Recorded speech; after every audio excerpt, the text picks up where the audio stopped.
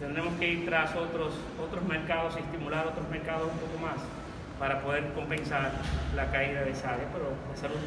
¿Tiene promedio de pérdida que podría generar al país en su visión?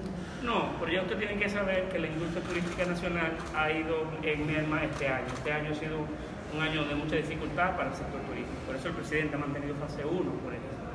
Por eso ha ido cada día, cada fin de semana, con un polo turístico del país a aperturar un nuevo hotel, a estimular una nueva inversión, a dar un primer ricazo, un espaldarazo a un, a un eh, jugador o un agente importante de ese sector, como pasó en Puerto Plata este fin de semana con Ocean World.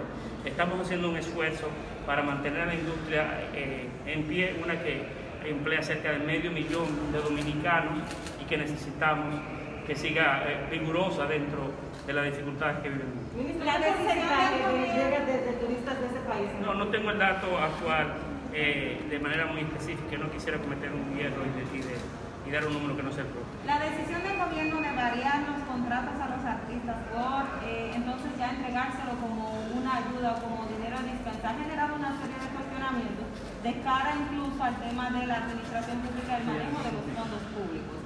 Eh, ¿Qué va a hacer el gobierno ante estos cuestionamientos? Porque de repente teníamos un contrato y ahora tenemos una ayuda cuando se establece que no es equitativo Mira, hay que entender, este tema ha sido profundamente debatido en los medios de comunicación durante las últimas semanas.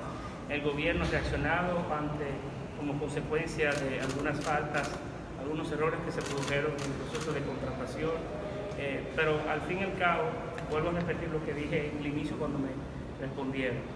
Lo importante es entender qué originó esto y cuál es la intención.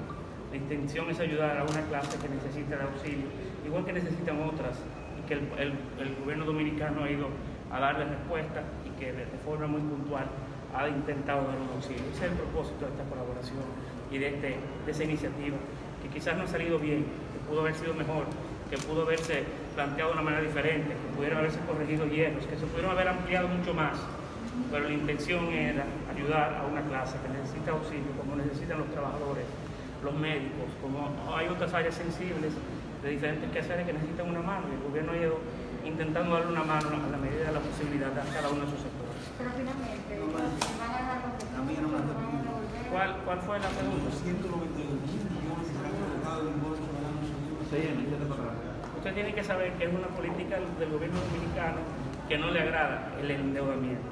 El endeudamiento es propio cuando el país lo necesita, hoy lo necesitamos. Las tendencias pasadas de gobiernos anteriores eran endeudarnos cuando el país no lo necesitábamos, cuando estábamos creciendo por encima inclusive del promedio de América Latina y el mundo. Ahí nos endeudaron hasta donde no más no podíamos. Hoy lamentablemente tenemos que acudir a esas herramientas para hacer que el país marche y para hacer que áreas sensibles, como por ejemplo de la salud, tengan los recursos del año que viene para afrontar el reto que tenemos por delante. Hemos acudido a, esas herramientas de financiamiento con ese propósito.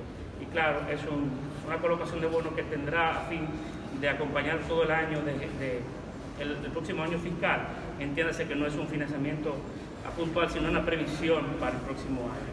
Pero vuelvo a repetir, no nos agrada, no es una política con la que nos identificamos, me refiero al gobierno dominicano actual, pero tenemos que salir adelante en esta crisis para ir corrigiendo los males que durante años eh, nos dejaron sobre la mesa y las prácticas incorrectas de un gobierno desorganizado que requiere de ir reparando esos entuertos. Señores, muchas gracias. Feliz Navidad.